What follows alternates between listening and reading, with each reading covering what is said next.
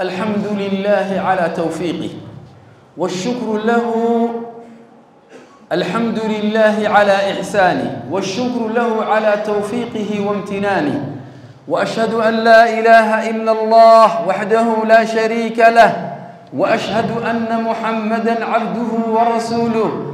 أما بعد فيا عباد الله أوصيكم ونفسي بتقوى الله عز وجل. قال تعالى يا أيها الذين آمنوا اتقوا الله وقولوا قولا سديدا يصلح لكم أعمالكم ويغفر لكم ذنوبكم ومن يطع الله ورسوله فقد فاز فوزا عظيما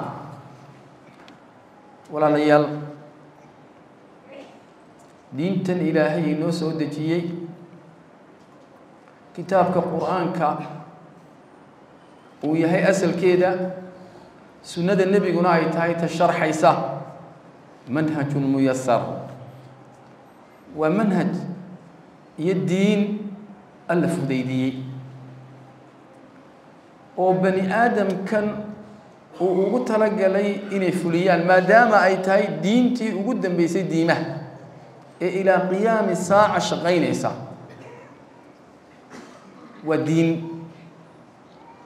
dabacsan waa diin aan u gaar ahayn wakti gaara waa diin aan u gaar ahayn meel qura waa diin ka shaqaynaysa meel walba iyo wakti walba iyo xaalad walba.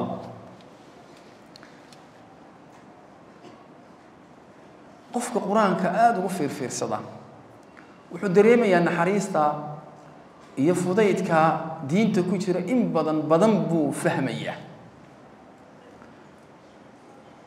Mashaqo caadiya way iska jirtaa oo ay leeyihiin takaaliifta layna saaray.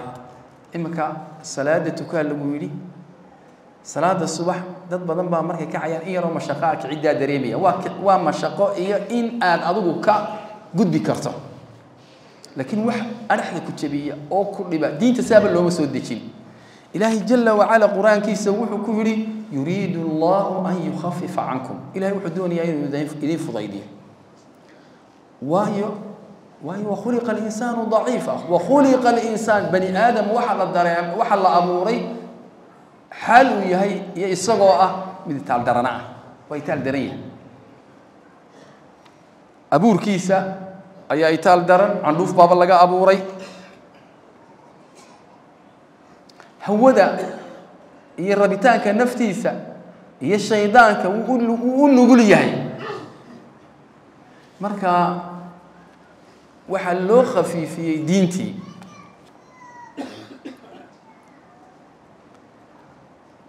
Ayaddaasoo qurina kama warramayso meelo kalena ilaahay wuu kaga warramay. Sunnada nebiguna way caddaysay ilaahay wuxu uhi yuriidu allahu bikum اlyusra walaa yuriidu bikum اlcusra ilahay wuxuu idinla doonayaa fudayd dhib idinlama doonayo wamaa jacala calaykum fi اddiini min xaraj ilaahay diinta idinkagama dhigin mid culays iyo rafaad iyo mashaqo iyo kadeed uu kaa soo gaadho xataa hadday mashaqa meelaha qaar ku jirto ajrigaa ayaa badanaya xikmado badan oo ku jiro oo kalena waad ka helaysaa. Waa ramadaantii soom waxoogaa cuntadii iska daa saacado biyihii iska daa caafimaad baad ka helaysaa. Amar ilaahay baad qaadatay. Ijiinkii sanadka oo dhan soo shaqaynayay ayaad nadiifisay. Haddana saacado yar kadib waxa lagu wax cun oo cab oo seexo ayaa lagu afur oo suxuuro ajri baa ku jire intaa gabalku dhacayo unbaa kaa mamnuuca. Gabalku markuu dhaco waa kuu xalaal wamaa jacala calaykum fi ddiini min xaraj. Bale qur'aanku wuxuu inoo sheegay laa yukallifu allahu nafsan ilaa wuscaha aayadaha ilaahay uu ku tilmaamay qofka habeen akhriya kafataa sharka jinka sharka insiga. Xataa culimada qaar ayeen qiyaamuleylkii kuga filayay labada aayadood la akhriyay waxaa ku dhex jirta laa yukallifu allahu nafsan ilaa wuscaha nafna lagu kalifi maayo waxay karaysa mooyaane.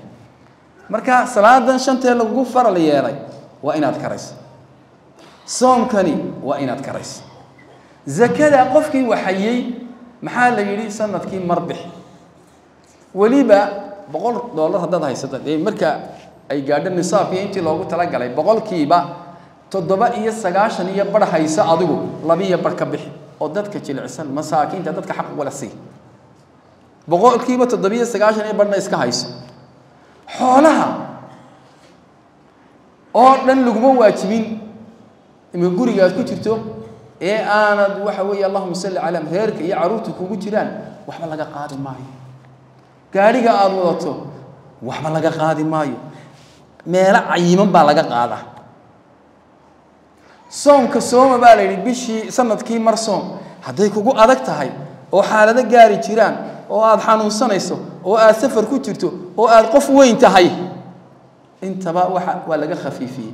Haddaad safar ku jirto mar kala soom haddaad hooyo owr la tahay ama aada nuujinayso mar kala soon haddaad qof weyn tahay oo aan karaynba fidyo uun bixi iska daa soomku hadduu ku dhibayo ood qof weyn oo xadkii dhaafay da-da aad tahay hee iska daa. Waa diin.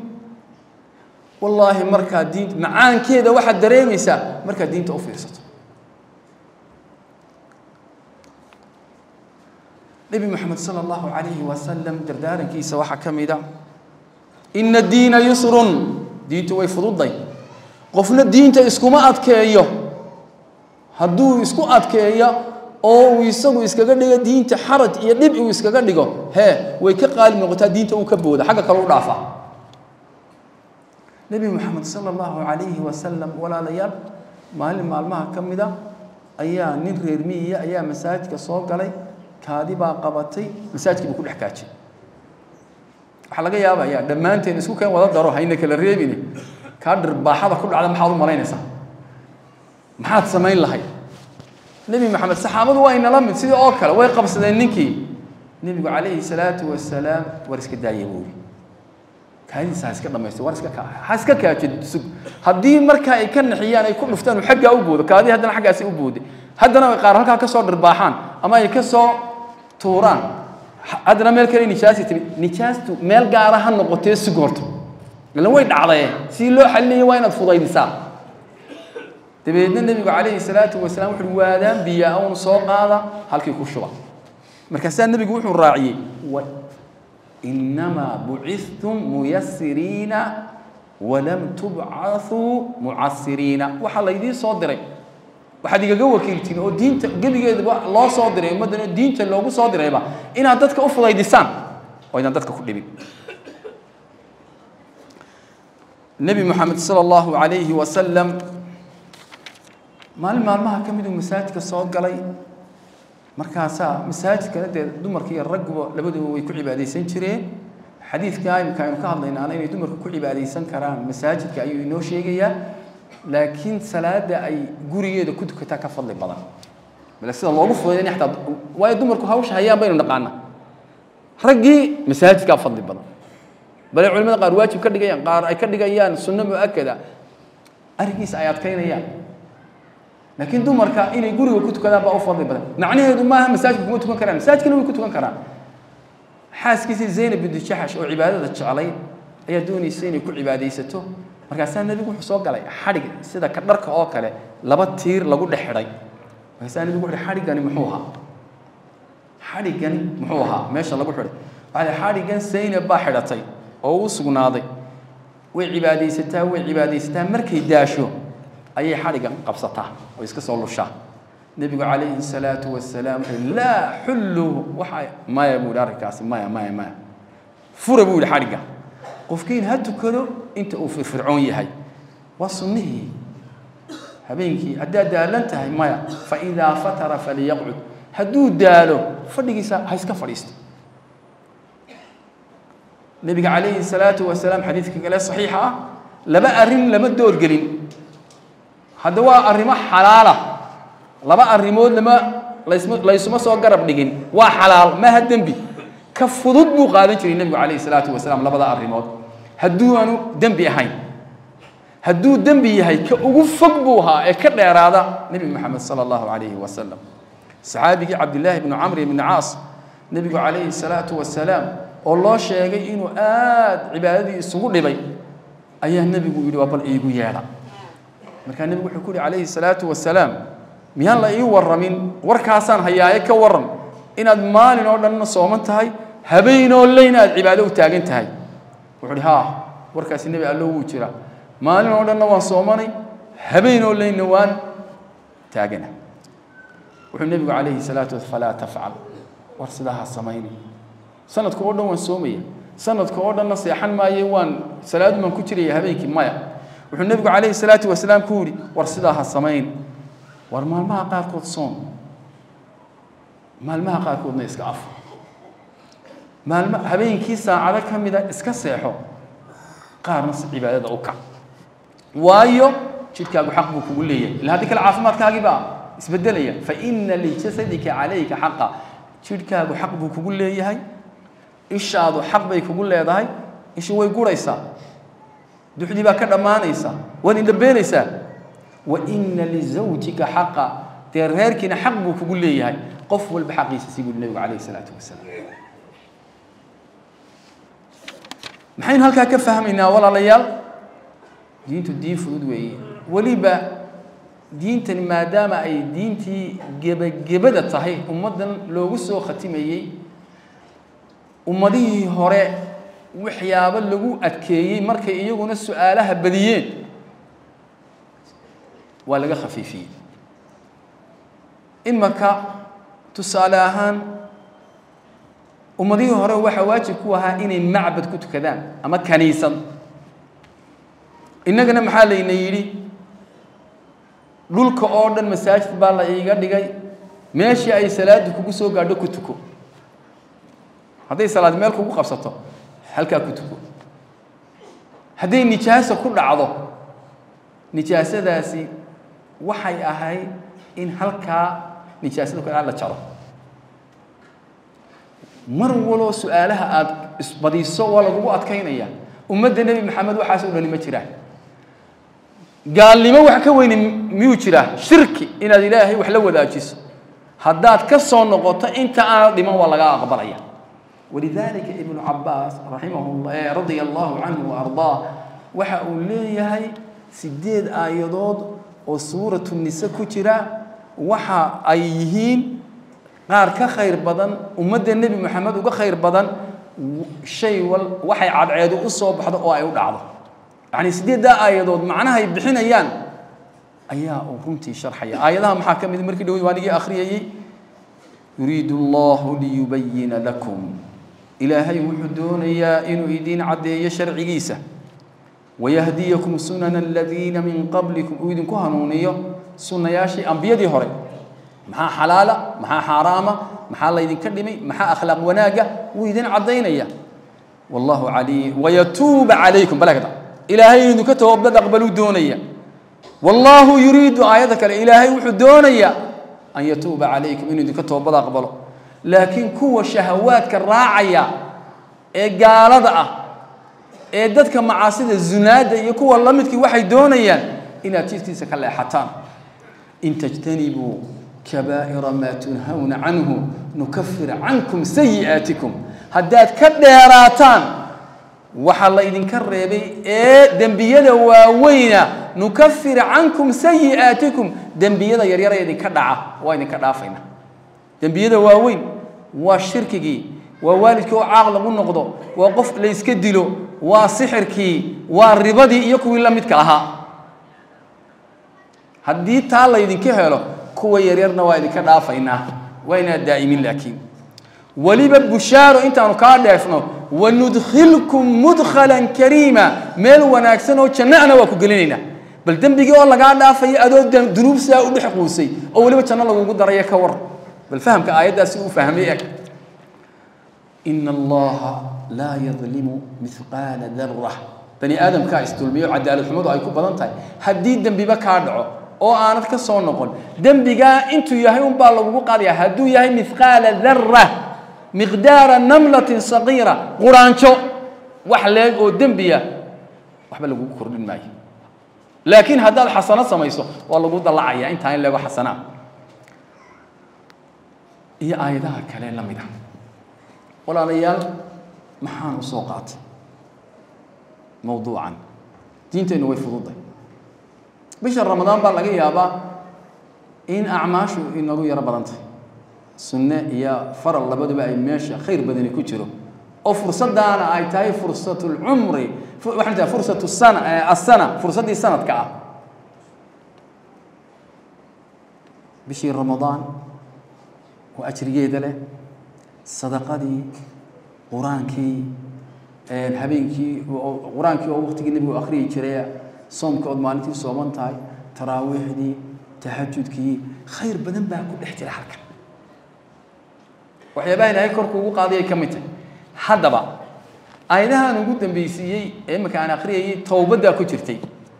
Bishii ramadaan maadaama ay dhowdahay alla dembigaygu badana alla dembigaagu badana. Intaa waan dhex gelaynaa. Intaa waa qaldamaynaa. Maha kaydin wacdiyaya isagu waa nadiifo.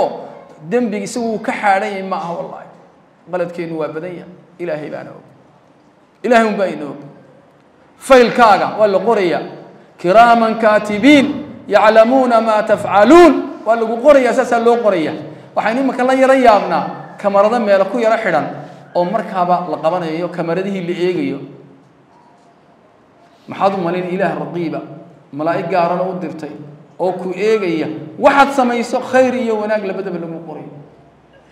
Mar hadduu arrinku sidaa yahay waxa wanaagsan markaad imaka maro wanaagsan aada gashanayso oo cusubba ka soo qaad ma waxaad jeceshahay adigoo uskagi kugu yaallo inaad gashato? Mise horta waad maydhataa waad isnadiifisaa waad isnadiifisaa markaasaad marada gashataa. Markaasay maradii noqonaysaa maro uskagii waxoogaa qarsata. Haddaad laakiinse gashato maradii oo uskaga markaaba waxaa laga yaabaa isbedelo inuu ku dhaco. Bishii ramadaan waa bishaa nadiifta ah ee khayrka faraha badani uu ku jiro ee la doonayo inuu kaga faa'iidaysano. Laakiin hadday macaasidu inagu badan tahay wasakdu inagu badan tahay macaasidu. Dee waxbaa si noqonaya. Sidaa darteed qabla ramadaan qof waliba inuu ilaahay u noqdo dembi dhaaf ilaahay weydiisto ilaahay uu u noqdo oo uu dembiyadii ka toobad keeno uu dhaa ilaahow ii dhaaf isagoo macaasidii ka toobad keenay bishii ramadaan u soo gasho weelkiisa oo culan oo nadiifa qalbigiisii oo nadiifa taasaan nafteyda ku waaninayaa taasaan idinku waaninayaa uma saluu wasalimuu calaa rasuuli illaahi sala allahu calayhi wasalam امتثالا لقول الله تبارك وتعالى إن الله وملائكته يصلون على النبي يا أيها الذين آمنوا صلوا عليه وسلموا تسليما. اللهم صل على محمد وعلى آل محمد كما صليت على إبراهيم وعلى آل إبراهيم إنك حميد مجيد. اللهم بارك على محمد وعلى آل محمد كما باركت على إبراهيم وعلى آل إبراهيم إنك حميد مجيد.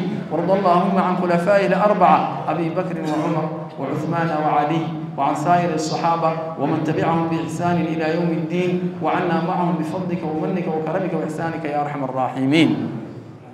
اللهم إنا نسألك الهدى والتقى والعفاف والغنى. اللهم أعنا على ذكرك وشكرك وحسن عبادتك.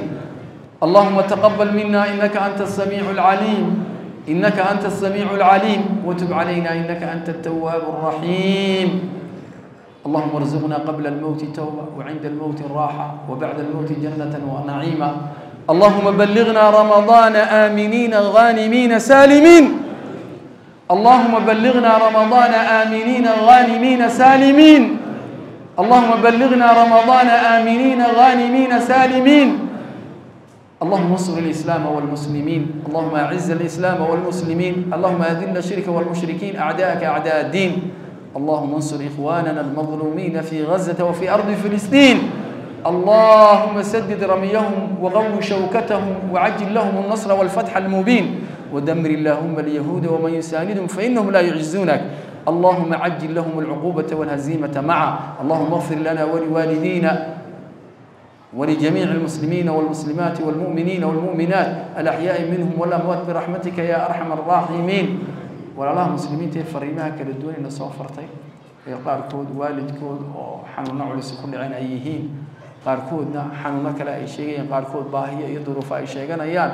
Allah ka wada dulqaado allah ka wada dulqaado intaasaynu u kari karaynaa. Allah ka dulqaado ilaaha raxiimka ow ilaahu dacada aqbalow ilaahu dhibtaa ka wada dulqaad inta xanuunsanaysa xanuunka ka dulqaad inta busaaraysan busaaradda ilaahu ka dulqaad inta deemaysan deynta ilaahu ka dulqaad inta dhib uun dareemaysa dhibtu noocay doonto baa noqdo ilaahu ka dulqaad dadkaasumaanu ka midno annaguwa masaakiintaasaanu nahay. Qof waloo annaga naga mida jamaca yagaana dhibta uu dareemaya allahayow ka dulqaad allahayow ka dulqaad bishaana nabadqab caafimaad iyo fursaddoonu ka faa'iidaysanay allahayow nagu gaadhsiin bishaa ramadaan. Ma ku dhibanayd fahamka ereyo badan oo luuqadda ingiriisiga? Ma aragtay in akhriskaaga caqabad ay hor taagan tahay macmiil si aad taasi u xalliso adeegga aqoon maal? Waxaad ka helaysaa barnaamijka ereyga maanta word of the day. Kaasi oo aad maalin walba ku baranayso erey cusub oo macnihiisa iyo adeegsigiisaba lagu sharaxayo bil walba dhammaadkeeda gal imtixaanka bisha ee ereyadii aad baratay oo ku guulayso abaalmarin qaali ah. Ereyga maanta waa fursadda kobcinta kaydka ereyadaada luuqadda ingiriisiga si aad u isticmaasho. Qor ereyga weed una dir boqol iyo konton